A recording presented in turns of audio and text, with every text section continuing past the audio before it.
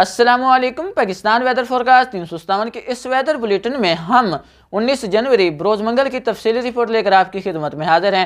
گزشتہ چوبیس گھنٹوں کے دوران بھی ملک کے بیشتر مقامات پر موسم خشک اور سرد رہا، جبکہ شمالی بلوچستان، خیبر پختونخوا، بلائی پنجاب، گلگت بلتستان اور کشمیر کے علاقوں میں شدید سرد رہا۔ گزشتہ چوبیس گھنٹوں کے دوران بھی پنجاب کے بیشتر علاقے دھند کی لپیٹ میں رہے۔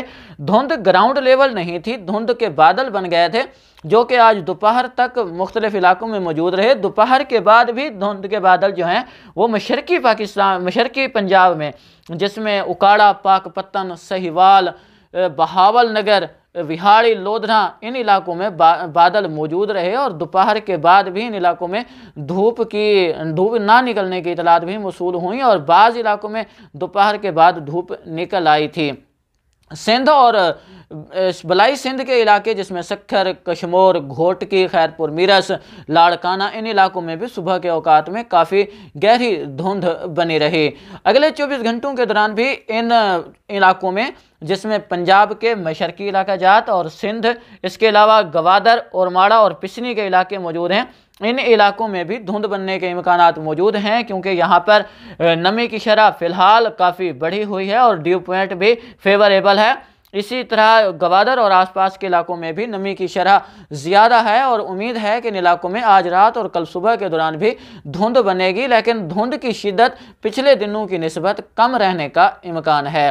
بعض علاقوں میں کل صبح نو بجے کے آس پاس دھوپ نکل آئے گی اور بعض علاقوں میں دوپہر تک دھوپ نکلنے کا امکان ہے۔ اگر کل بارش کی بات کی جائے تو اگلے چوبیس گھنٹوں کے دوران جو مشرق، شمال مشرقی خیبر، پختونخوا، گلگت بلتستان اور کشمیر کے علاقے ان علاقوں میں بادل بننے اور ہلکی بارش اور پہاڑوں پر ہلکی برف باری کا امکان رہے گا۔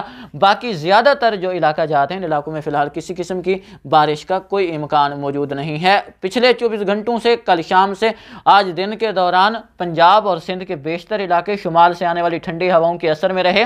ایک سرکولیشن یہاں پر بھارت کے مغربی علاقوں پر بنا ہوا ہے۔ جس، جو آج تک کمزور ہو جائے گا، امید ہے۔